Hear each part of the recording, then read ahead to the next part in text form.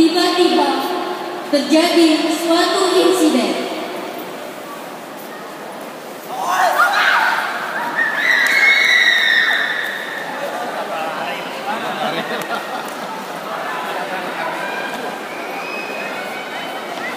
Kemudian datanglah tiga pelajar yang baru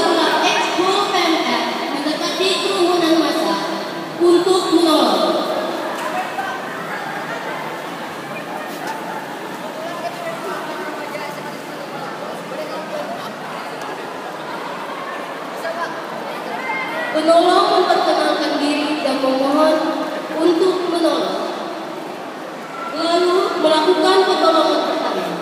Pertolongan pertama adalah perawatan pertama yang diberikan kepada orang yang mendapatkan kecelakaan atau sakit yang tiba-tiba datang sebelum mendapatkan pertolongan dari tenaga medis. Selanjutnya, dilakukan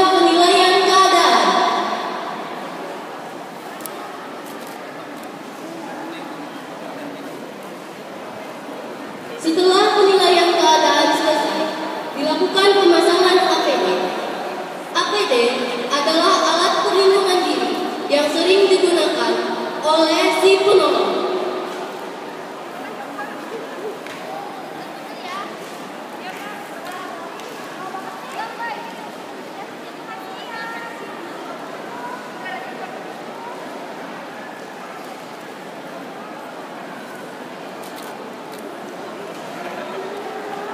Setelah itu, dilakukan cek respon, dimulai dari awas, suara, nyeri,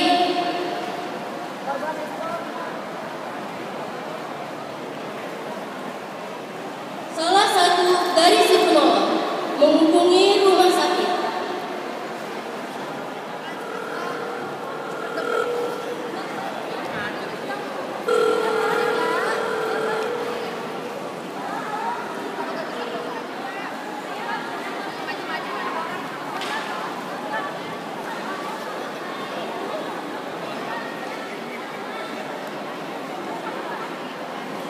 Kemudian, bebaskan jalan nafas.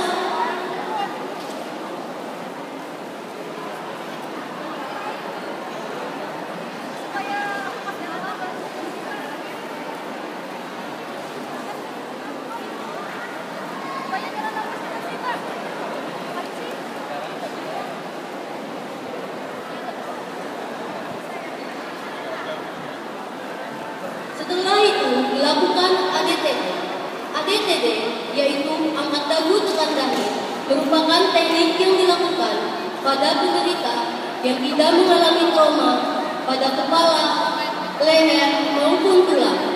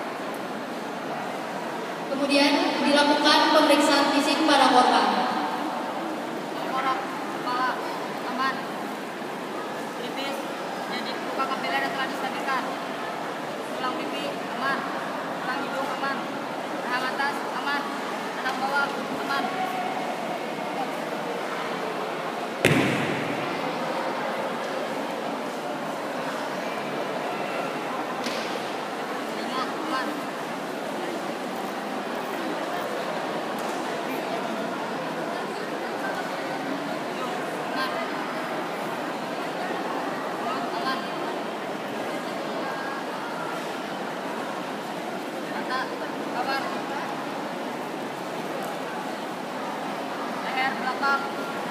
Aman. Tangan atas kanan aman. Siku kanan aman. Tangan bawah kanan aman. Belakang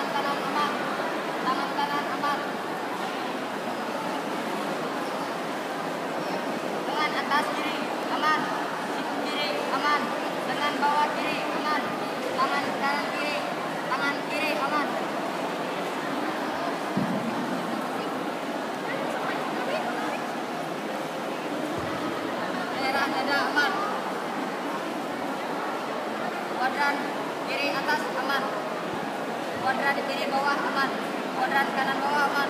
Kuadran kanan atas aman. Aman.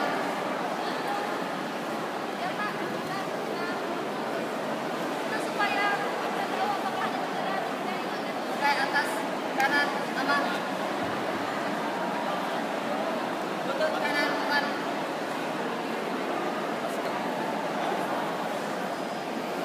Kai bawah kanan aman. Tangan kaki kanan aman.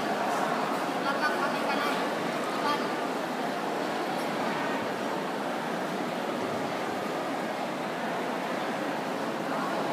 Kai atas kiri aman.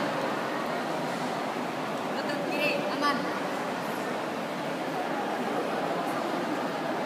Kai bawah kiri aman. Tangan kanan kiri aman. Kaki kiri aman.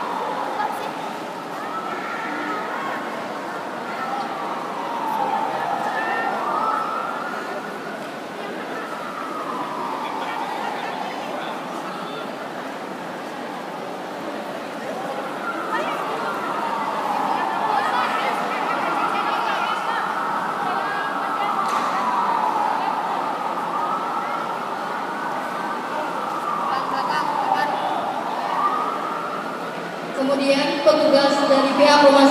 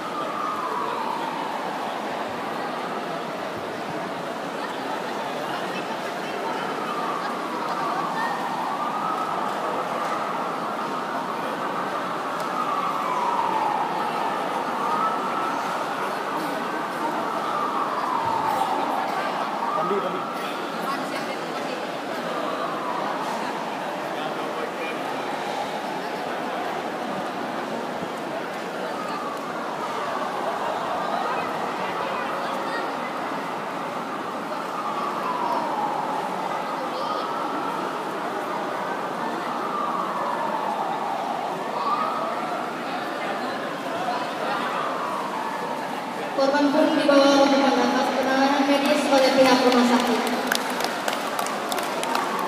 Jadi pesan moral yang dapat kita ambil dari simulasi pertolongan pertama tersebut adalah kita sebagai makhluk sosial perlu memiliki jiwa peduli kepada sesama.